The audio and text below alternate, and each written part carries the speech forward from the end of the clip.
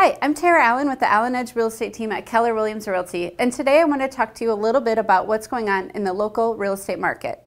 In December, our market here in Sioux Falls, the listings were actually down 20%. Um, the inventory of homes for sale were down 19%, and the month supply of inventory, of course, a direct correlation with the new listings and inventory of homes, was down 23%. That gives us a 2.6 month supply of inventory of homes. What the 2.6 month supply of inventory means is that in two and a half months, if no new listings came on the market, we would have no more homes on the market.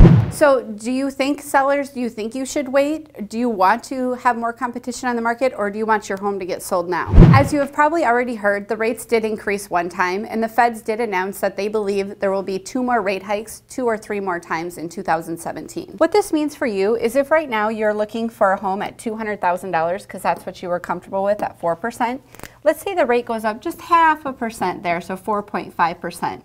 That brings you down to being comfortable with purchasing a home at 189,000. Now let's take it down one more step here and say they go up another spike at 5%. Now what you're actually able to afford is about $178,000. So if you're looking at homes right now at 200,000 and not finding what you like, check out the homes at 178,000. So do you want a $200,000 home or $178,000 home?